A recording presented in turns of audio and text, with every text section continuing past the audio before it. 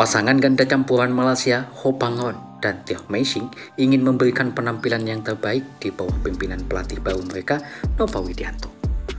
Ho Pangon, Teo Meising untuk pertama kali akan didampingi Nova Widianto pada Malaysia Open 2023. Ya, turnamen Super 1000 tersebut sekaligus menjadi debut pelatih asal Indonesia itu menjadi pelatih ganda campuran Malaysia.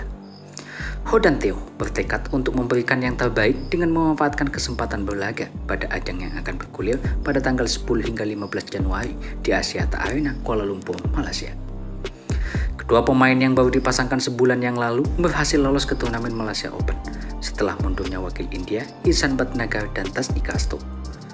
Ho dan Theo baru berlaga di dua turnamen resmi pada Bangladesh International Challenge dan Malaysia International Challenge tahun 2022. Mereka langsung berhasil meraih gelar juara pada ajang Malaysia International Challenge usai mengalahkan kompetitornya di final, Cheng Tangji dan Teo Ewi.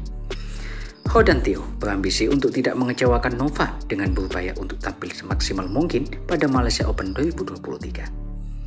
Saya merasa sangat bersyukur mendapatkan kesempatan untuk bertanding di turnamen ini bersama Pangon, kata Teo dikutip dari Sport.com dari The Star.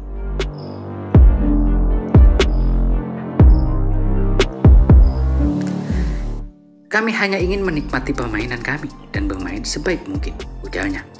Ho dan Theo yang kini masih menduduki peringkat ke-169 dunia akan menghadapi tantangan yang berat di kandang sendiri saat memulai langkah mereka menghadapi wakil Jepang Kyohei Yamashita dan Naoki Shinoya pada babak pertama.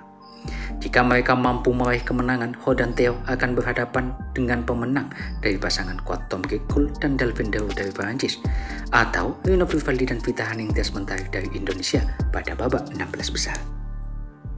Meski tidak mudah, Ho dan Theo berusaha untuk fokus mementingkan permainan mereka terlebih dahulu. Kami tidak ingin terlalu memikirkan siapa yang akan kami hadapi. Kami hanya ingin keluar dan memberikan segalanya di lapangan, kata Theo.